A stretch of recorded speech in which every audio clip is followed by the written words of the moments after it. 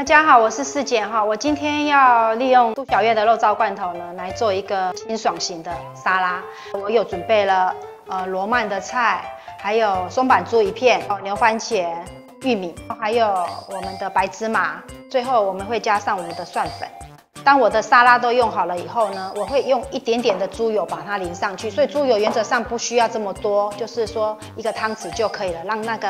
呃菜色看起来比较亮一点。然后等一下肉燥我不会用这么油，我会用干的方法，所以我需要用这个滤网把那个油的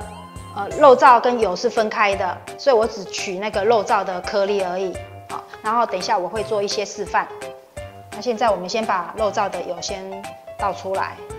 因为我们只要肉燥，肉燥它本身是已经有味道喽，所以你今天可能做的任何一道菜呢，你不需要再添加任何什么酱油、醋都不要。如果你很想要加醋的话，我倒建议可以加点水果醋。嗯，你蒸松板的时阵，原则上的是拢差不多蒸到安尼，安尼黄黄恰恰哈，但是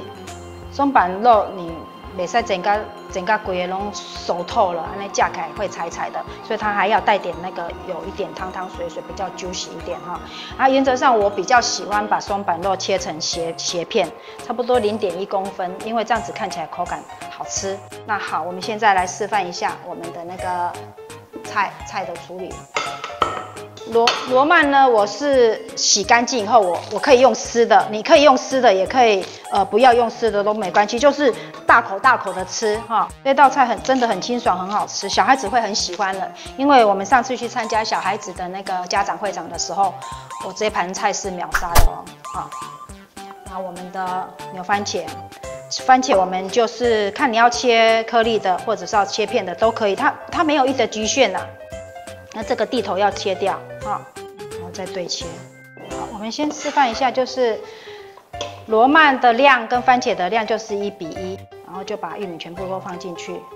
差不多这样子就可以了。再来就是因为我们切菜已经都放好了嘛，好，你你也可以放洋葱，你也可以放呃各种你喜欢的蔬菜都可以。那是因为原则上我我这个是呃用今天用简单的方法去处理的。然后松板猪我们刚刚已经煎好了，再来就是。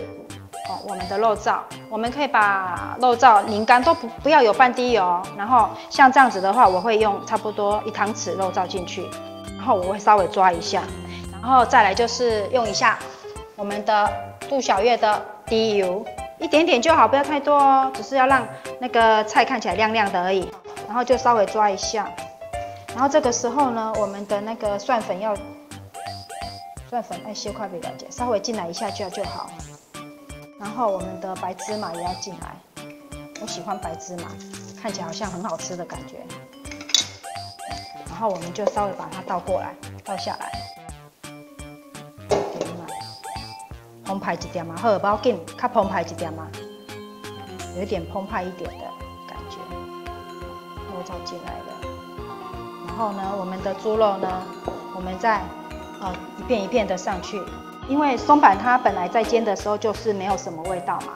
所以我们可以再用一点点那个蒜粉从上面把它加上去。这就是我今天为大家示范的杜小月肉燥松板猪沙拉，希望大家会喜欢。